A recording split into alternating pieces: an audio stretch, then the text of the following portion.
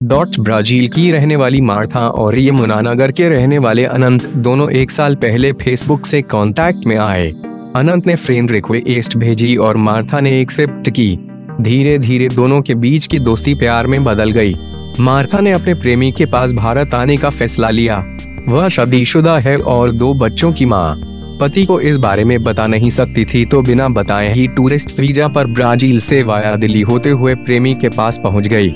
दिल्ली में मिली तो लोकेशन तो पति ने दर्ज कराई मिसिंग कंप्लेन। दैश मार्था घर नहीं पहुँची तो पति ने तलाश की, लेकिन उसका कुछ पता नहीं चला। दैश पुलिस को कंप्लेन दी तो ब्राज़ील पुलिस ने जाँच की। इसमें पता चला कि मार्था टूरिस्ट वीज़ा लेकर भारत गई है।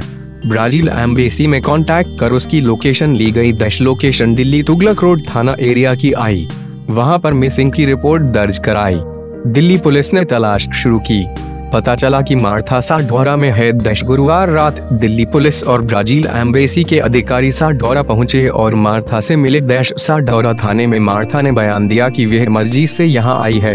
रात को ही दिल्ली पुलिस और ब्राज़ील दूतावास के अधिकारी मार्था को अपने साथ लेकर रवाना हो गए। 14 सितंबर को आई थी इंडिया। दश मार्था टूरिस्ट वीज़ा पर भारत आई थी। 14 सितंबर को दिल्ली पहुँच गई थी। दिल्ली एयरपोर्ट से अनंत उसे लेने पहुँचा था देश। अनंत ने बताया कि इसके बाद वह मार्था को अपने घर ले आया।